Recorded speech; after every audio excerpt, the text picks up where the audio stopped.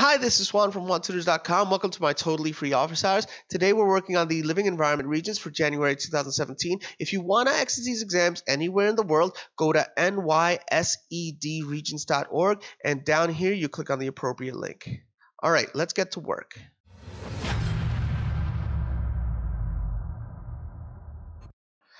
Here's problem three.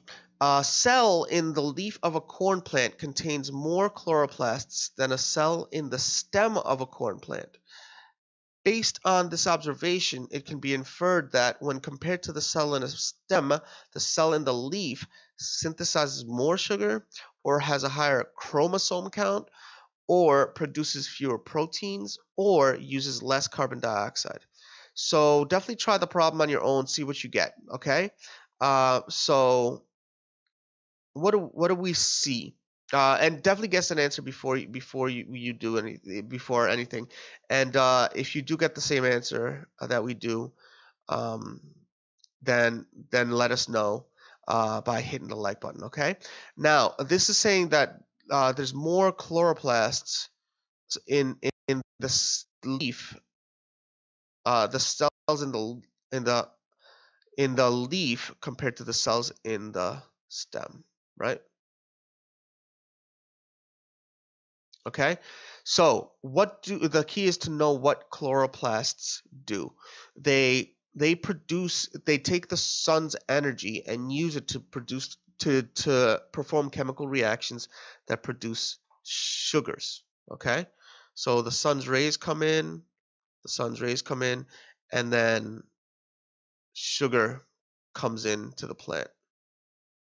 Okay, and that's where the that's where the the, the um, plant's energy comes from.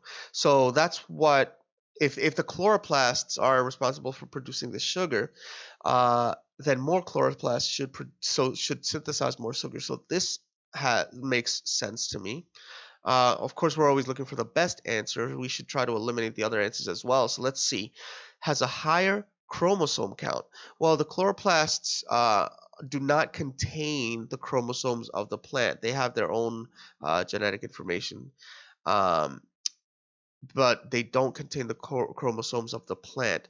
Uh, also, uh, the cells generally contain the same number of chromosomes because the chromosomes are in the nucleus, whereas the chloroplasts are outside of the nucleus. So this is definitely not the answer. Okay. Now produces fewer proteins. There's uh, the chloroplasts are not really related to the process of creating proteins, uh, so that's not it. Uh, and then the next one uses less carbon dioxide. Um, well, uh, it's this is actually false because it, it actually uses more. Why does it uh, use more carbon dioxide because in the process of creating the sugar, the the plant takes the sunlight for energy, takes carbon dioxide uh, and and other chemicals and produces sugar. Okay, so that's part of the process of uh, it, it, carbon dioxide is used in order to create the sugar. So it's definitely definitely choice one. Uh, if you are watching this video from our channel, stay tuned uh, for the next video starting now. If not, go to our channel, go to the section that talks about January 2017 Bio Regents, and you'll be able to watch all the videos from there. All right, thanks for watching.